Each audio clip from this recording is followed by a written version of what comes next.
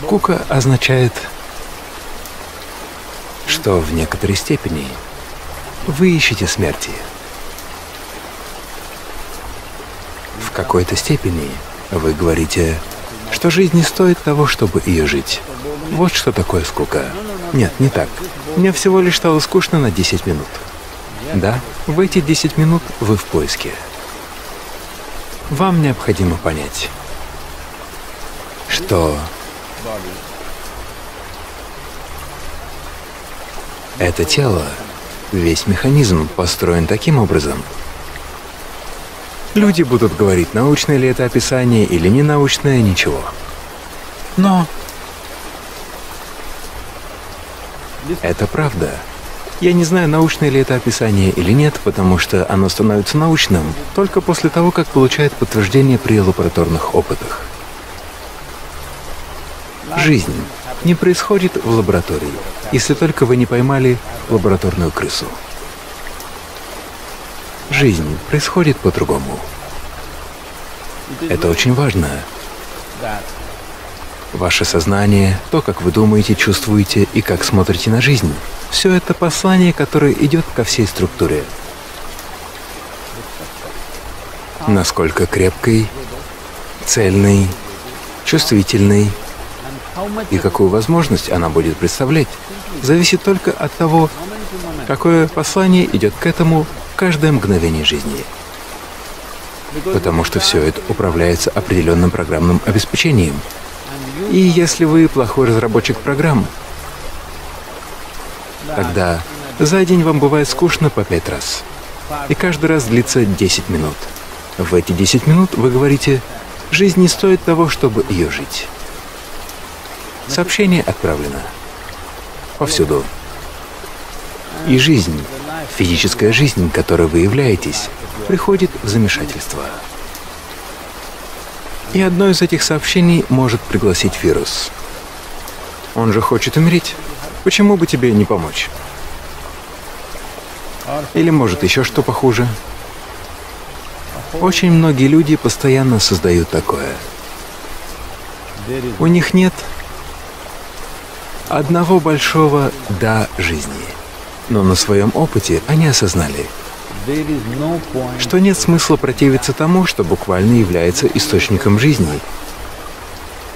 Нет смысла противиться этому.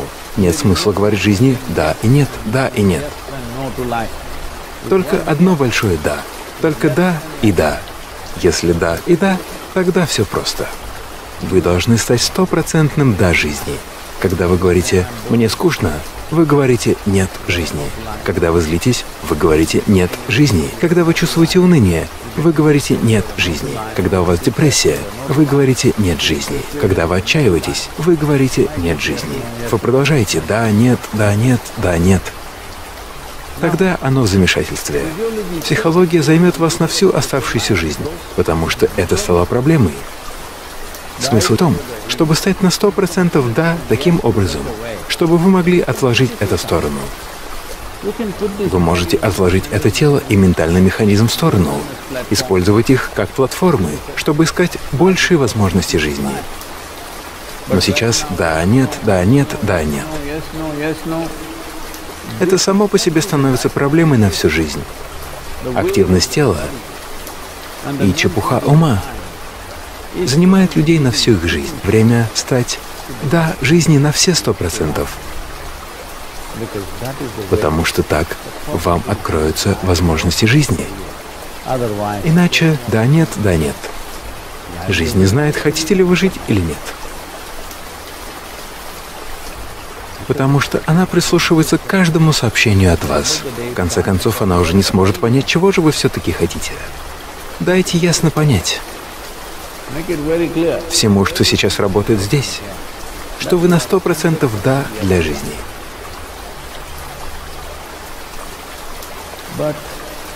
Но мне скучно с моей семьей Садгуру.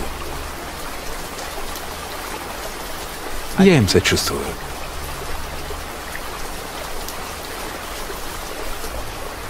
Они не жалуются, но, должно быть, страдают.